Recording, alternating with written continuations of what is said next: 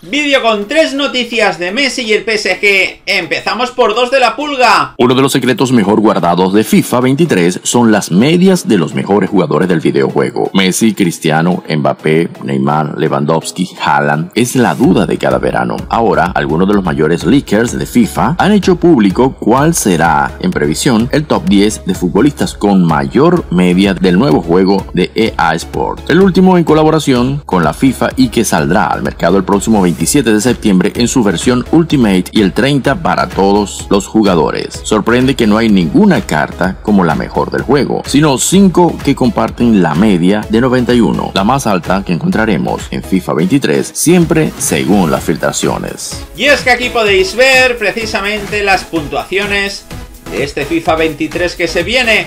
Vamos ahora a hablar de la reacción del propio Messi a una publicación en Instagram que se ha hecho viral. La fiebre mundialista llega a escalas impensadas en diferentes puntos del globo terráqueo. En Argentina, como en tantos otros países, existe el boom de las estampitas. Los kioscos las tienen agotadas y el álbum para pegarlas tampoco se consigue. Pero existen algunos afortunados que se quedaron con varios paquetes. Joaquín Álvarez, mediático periodista que es conocido popularmente como El Pollo, viralizó el momento en que le tocó Lionel Messi. Fue tan efusiva su felicidad que el propio futbolista tuvo una intervención salomónica. La colección no entiende de sexos ni edades, y si bien el objetivo primordial es llenarlo, existe una obsesión, encontrar a Leo. Por eso mismo el famoso sudamericano se filmó cuando encontró la figura de la pulga, esbozando una sonrisa única e irrepetible. El personaje en cuestión se dio cuenta que entre las cinco estaba una de Argentina, algo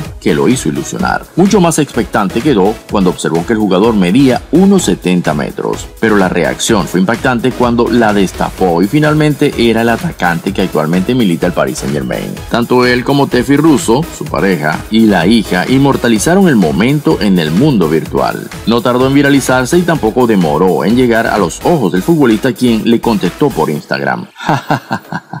¡Qué personajes! ¡Qué bueno! Escribió el astro del fútbol más popular. Y es que aquí podéis ver precisamente la publicación en Instagram del periodista argentino y la reacción de Leo Messi colocando personajes.